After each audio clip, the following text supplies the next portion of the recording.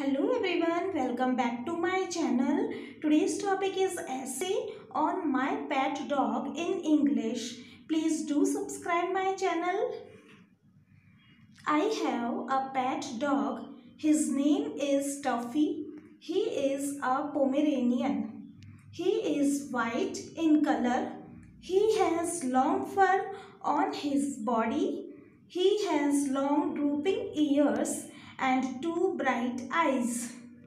He has a bushy curved tail. He runs very fast with his four tiny legs. He is very sweet and cute. He barks loudly. He baths every day.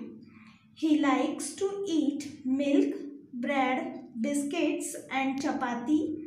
He is very close to me. We all family members take good care of Tuffy. He has a big dog house. He likes to play and jumps all around the house. He runs here and there in the house. He can also swim in water. I play with my pet dog in free time. I love spending time with my pet. I take him on walks every day.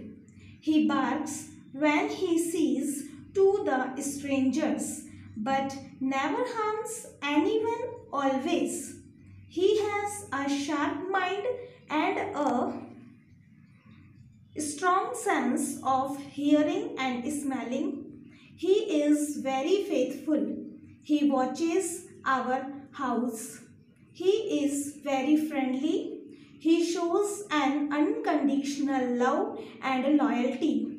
I love my pet dog Tuffy very much. Thanks for watching.